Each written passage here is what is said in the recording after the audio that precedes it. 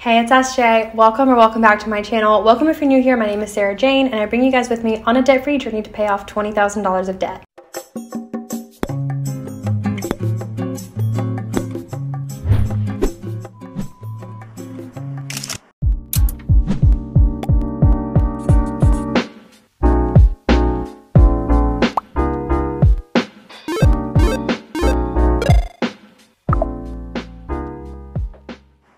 So it's been six months since I've started doing side hustle work. Um, what I have found when I first started my debt free journey that having side hustles really expedites the debt payoff process. Um, and so, since I started my debt free journey in March and started doing side hustles at that time, I have found that it has been quite a bit of a source of extra income. So, I thought it'd be really interesting at the six month mark that I've been doing this to reflect back and conduct an analysis on how much I brought in total from side hustles and then which side hustles are giving me the most bang for my buck.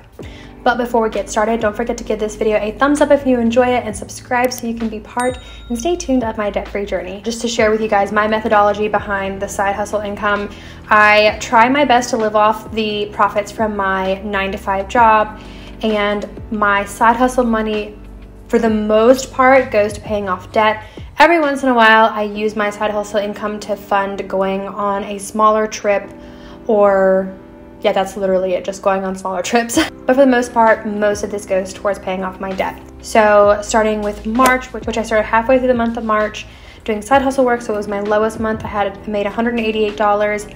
In April, I made 366. In May, I made 478.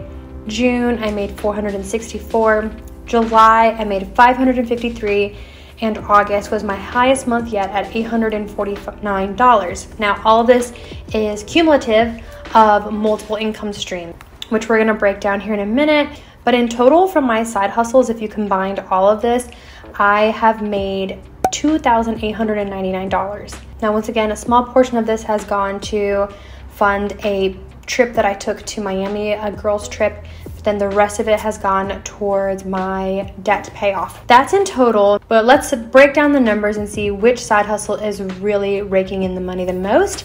So, outside of my nine to five, I have five additional sources of income from side hustles. So, my five side hustles I have is Rover, photography, YouTube, credit card cashback, and selling things. So, selling things within my home, at Plato's, or at Facebook Marketplace. Um, so, we're gonna go through those. I don't normally show you guys Excel sheets, but I thought that this video would kind of be helpful.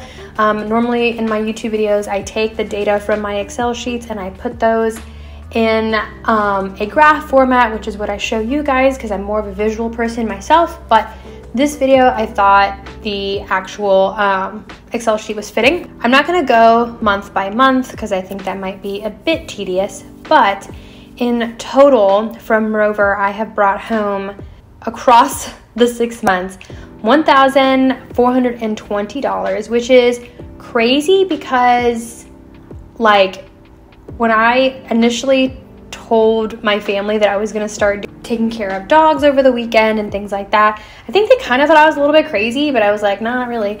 Um, I had heard from a friend who she does Rover that it can be a pretty solid side extra hustle money. So yeah, total over the last six months, I brought home 1,420 from Rover. Rover is good because Rover is decent pay and it's consistent Depending on the profile that you make, you can determine how much you want to charge, also based off of if you benchmark people around you, what other people are charging. It it's very decent and if you can get a consistent client, very consistent as well. What happened to me, I have someone who always needs assistance with her pup and I'm always able to help her. So that's how I've been able to consistently bring in decent money from Rover. Next is photography. Photography is has brought in in total $1,114. Um, photography is high paying, but it's not consistent, which is the issue for me. I think if I did actually put more effort into marketing on social media with my photography and networking, I could really increase that. But at this point, I'm not really interested in exerting the additional effort that that would require, mostly because I'm in school right now and a lot of my extra effort outside of YouTube is going to schoolwork and that is the priority for me. But I think maybe one of these days I will put in more effort into photography and see that number go up. In the last six months from YouTube, I brought home $212.81. Um, so this is kind of interesting because I think there is such a misconception that YouTubers bring home lots of money, and they do. There are so many YouTubers that bring home lots and lots and lots of money.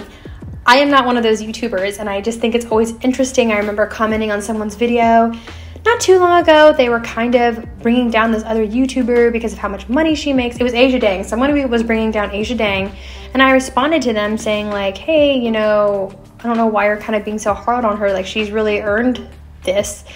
And the person responded back how, as a blanket statement, YouTubers just make so much money and it's a hard industry to break into. And I just kind of thought that was really interesting. I was like, yeah, I like I make these, I make I make okay money from YouTube, but I don't make a ton of money. It's definitely not my main side hustle income source. And so yeah, like there are some YouTubers that make a lot of money. I am not one of them. I genuinely make these videos because I enjoy them. I would, I do hope that like one day my AdSense does go up, but for now it is at 212. Next is credit card cashback. Over the last six months, I have made $100 from that, which isn't bad as long as you pay off your credit card. Um, last but certainly not least is selling items around the home. I've sold at Plato's, Facebook Marketplace, all those sort of things. I definitely tried harder on this back um, when I first started. I've moved quite a few times in the last couple years, and with each move, I've gotten rid of things. So, for the most part, the things that I have right now, I don't particularly care to get rid of. Um, so, it's not really the best thing for me at the moment is to like be selling my things. So, anyways, that comes in last. For me, the logistics is just not worth it. Um, but if we go by percentage breakdown and think about which side hustle is bringing in the most for me, at the forefront, ironically, is Rover, bringing in 49% of side hustle income. Then is photography at 38%, YouTube brings in 7%, credit card cashback brings in 3%, and selling slash miscellaneous is at 2%. If someone didn't know my financial like my finances and was to take a guess at which side hustle brings in the most, I feel like most people would say either photography or YouTube, but ironically, it is Rover. Rover has just brought in so much for me, um, which is crazy because it is so simple and it's something that I just really enjoy because I love dogs. So that's kind of my six month analysis on my side hustle income and where I'm getting the most bang for my buck.